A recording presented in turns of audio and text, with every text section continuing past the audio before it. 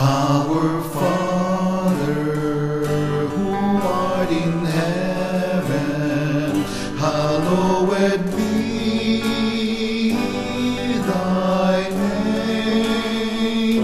Thy kingdom come, thy will be done on earth as it is in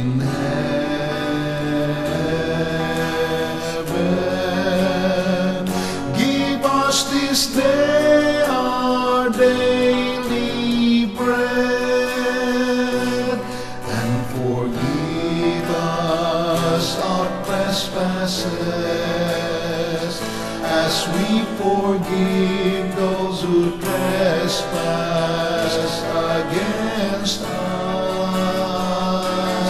and lead us not into temptation.